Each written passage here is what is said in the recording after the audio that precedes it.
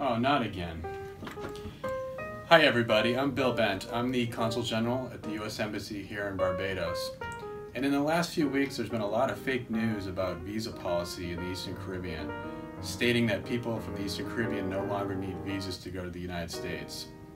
I'm here to tell you that these articles are false, it's fake news, so please don't be fooled by it, and definitely don't buy your tickets to go to the United States unless you have a visa. If there are any changes about visa policy in the Eastern Caribbean, rest assured that it will be the U.S. Embassy in Bridgetown, Barbados that will let you know. Please don't trust any other sources except us regarding these matters.